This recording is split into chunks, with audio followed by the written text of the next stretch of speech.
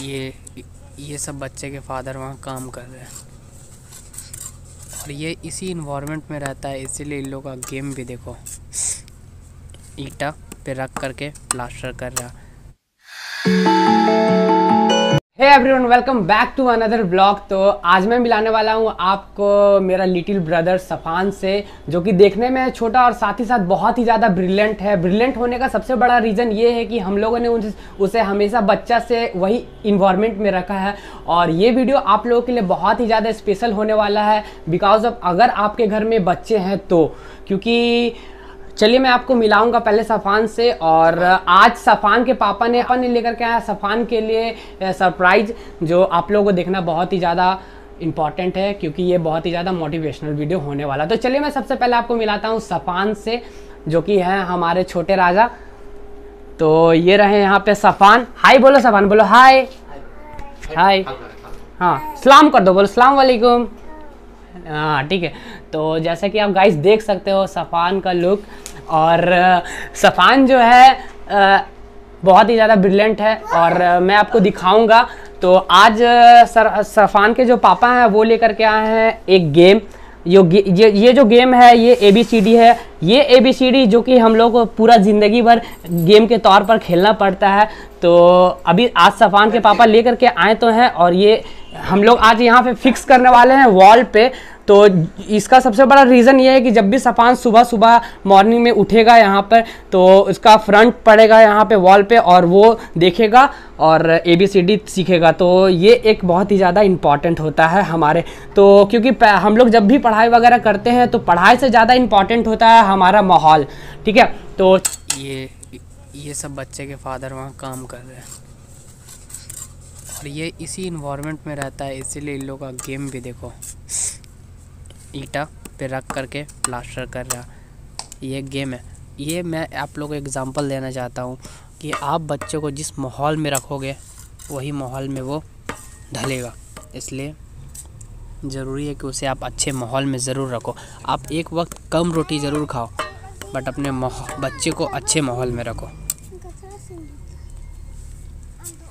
Remember this Safan कुछ सिखाएगा जो कि मैं आपको दिखाने वाला हूँ ठीक है? तो वो क्या सिखाएगा सर सफ़ान? सफान? हाँ बताओ। को पोयम आता है ना?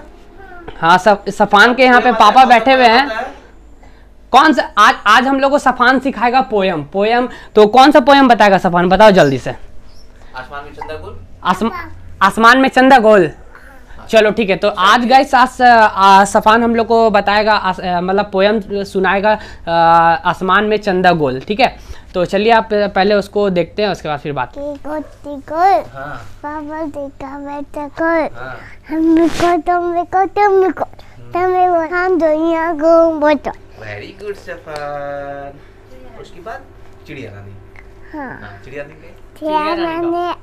को रानी हाँ. के Tiada मैंने आना. हाँ Apa tisu nama? हाँ? हाँ कहता के हल्ला बोली. बेकार खाना. वेरी गुड ना. सफान सुनाएगा कलमा ठीक है? हाँ। जो कि हम लोग के लिए बहुत ही ज़्यादा इम्पोर्टेंट होता है। तो आप देख सकते हो कि इतने कम उम्र में जब हम लोग आजकल के जनरेशन के बच्चे अभी या तो यूट्यूब पे गाना सुनते हैं या तो डोरेमोन वगैरह देखते हैं बट इस जनरेशन में ये इतना चीज़ जानता है। तो मैं आपको शो अप नहीं कर रहा हूँ बट मैं बताना चाह रहा हूँ कि अगर आपके घर में कोई भी बच्चे रहते हैं ठीक है?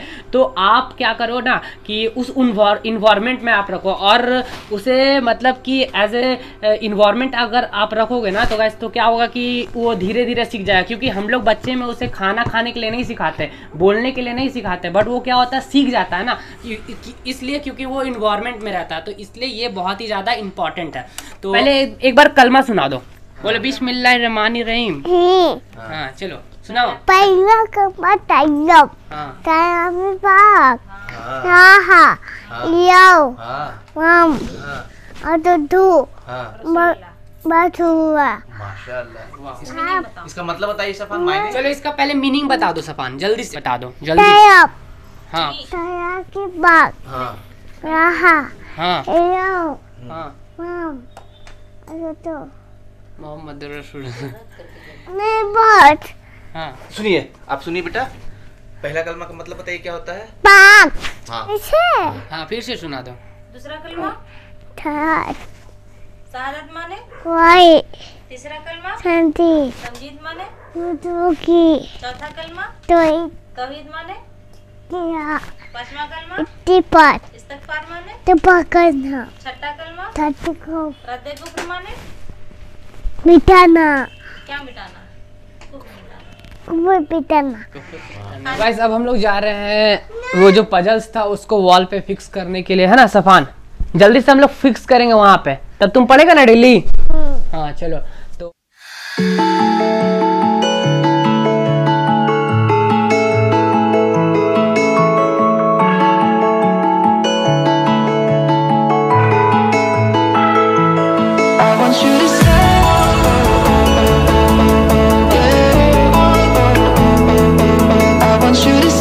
जैसा कि आप देख सकते हो, ये रहे सफ़ान हीरो और हमारा जो वॉल पे फिक्सिंग करना था, वो हो गया कंप्लीट हम लोगों ने थोड़ा सा प्लान चेंज किया था, या पिंक पे ये ज़्यादा बेटर लग रहा था, इसलिए हम लोग यहाँ पे लगाएँ.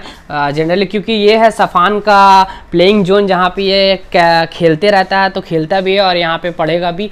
और तो बहुत सारे लोगों का कन्फ्यूज़न रहता होगा गाइस कि ये जो A B C D wall वाला है पलजस ये कितने में लिए? तो अगर आप फ्लिपकार्ट में जाओगे तो ये ढाई मिनिमम मुझे लगता है कि ढाई से दो ढाई सौ रुपये तक में आ जाएगा ठीक है? आ, क्योंकि ये गिफ्टेड था तो इसलिए मैं पूरा प्राइस में आपको नहीं बता पा रहा हूँ क्योंकि ये सफ़ान के पापा ने इसे गिफ्ट किया था। तो बोलो जल्दी से चैनल को सब्सक्राइब करिएगा गाय को देखिए और लाइक करिएगा। बोलिए लाइक करिएगा खाओ मत बोलिए लाइक करिएगा। चल तो आई होप आप लोगों को ये वीडियो अच्छा लगा होगा। अगर आप लोगों को वीडियो अच्छा लगा तो चैनल को सब्सक्राइब करना अपने दोस्तों के साथ शेयर करना गाइस